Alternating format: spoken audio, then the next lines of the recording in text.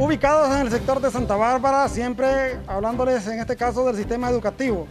Estamos en la escuela Locadio Tejeda, en donde la profesora Eugenia Martínez nos va a explicar, está en el proceso de matrícula, y nos va a explicar que los padres de familia están llegando acá de manera presencial para poder matricular a sus hijos. Pues aquí estamos en nuestra labor docente, como nos ha enviado ya el gobierno los, los links a seguir y si ya estamos en el proceso de matrícula. Poco a poco están llegando los padres de familia a matricular a nuestro centro educativo. Los de primer ingreso y algunos que vengan de otros grados.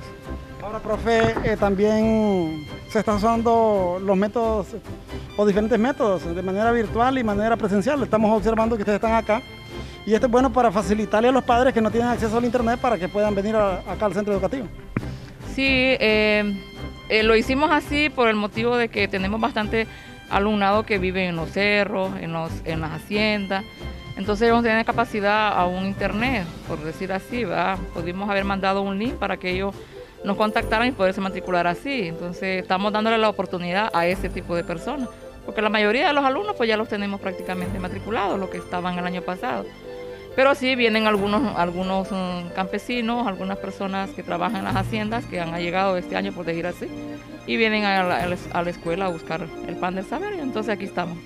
Profe, cuando estamos ya en la segunda semana de febrero, eh, ¿cuánto es el proceso de matrícula? ¿En qué porcentaje va avanzando de acuerdo a la cantidad de alumnos que ustedes mantienen acá en este centro educativo? Pues mire, nosotros la matrícula nos ha bajado un poco, hace cuatro años para acá nos ha bajado bastante. Ahorita prácticamente tenemos una cantidad de 145 alumnos, casi 150. Y bueno, el proceso está desde el 15 de enero que lo hace la directora y ya ahorita como ya estamos en proceso, ya que ya tenemos que estar en nuestro centro educativo, entonces están los compañeros acompañándome en este proceso de febrero que se maneja que es hasta el 28 de febrero. Todavía no nos han dado las directrices necesarias para poder implementar nuestras clases a nuestros, a nuestros alumnos. Pero si están llegando, profe, los, padres de familia de manera presencial a matricular a sus hijos. sí, sí están llegando. Hoy casualmente hemos tenido cuatro personas. Sí.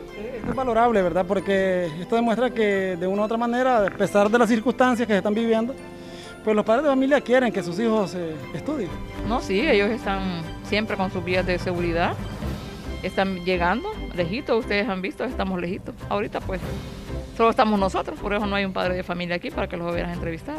Ahora, profe, en cuanto, en cuanto a lo que ustedes brindan a los alumnos, eh, ¿cómo van a trabajar? ¿De qué, qué métodos van a estar utilizando ustedes eh, para trabajar con los alumnos?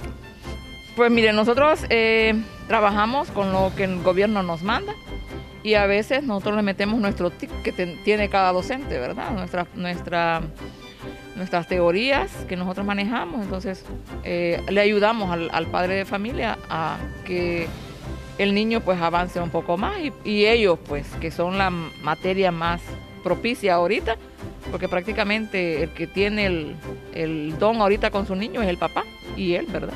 El niño. Y nosotros pues dándole la facilidad para que ellos entiendan y, y tengan acceso a poder hacer sus tareas.